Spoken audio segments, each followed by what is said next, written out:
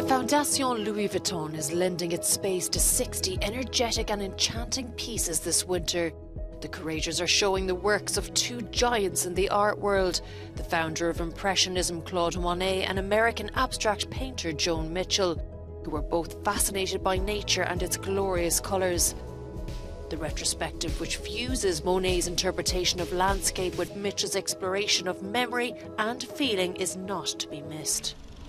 100 years after the death of Spanish Impressionist Joaquin Sorolla Bastida, the Sorolla Museum, in partnership with the Museum of Fine Arts in Valencia, is celebrating the early days of the painter's career between 1878 and 1884. Renowned for his portraits and his range of social and historical themes, the exhibition treats art lovers to many of his unpublished watercolours, drawings, and photographs. Moving to Germany, the Barberini Museum, housed in a former Baroque palace built in 1771 by Frederick II, is hosting its first large scale international loan exhibition, featuring works from 50 museums and private collections.